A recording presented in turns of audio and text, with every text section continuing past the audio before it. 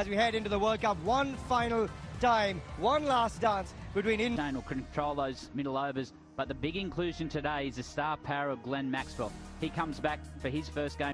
So the crowd starting to build up. Hot afternoon, remember, Australia batting first.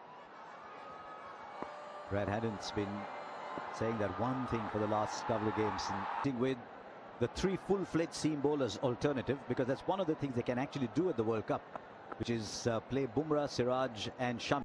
Warner.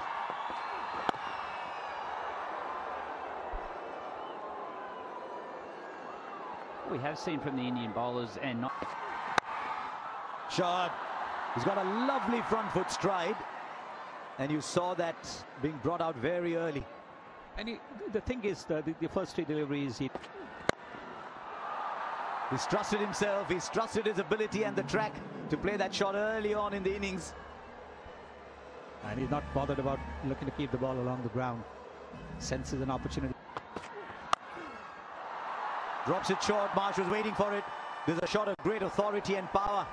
It's not always that you see Bumrah being hit back over his head and then over mid-wicket for six. More runs, more runs. He's in very good form, Mitch Marsh. He's powered his way to 19 of 8 and he's realized... But he gets uh, the timing right this time too. Struggled a little bit with his first 7-8 balls. No problem this time. Great start here.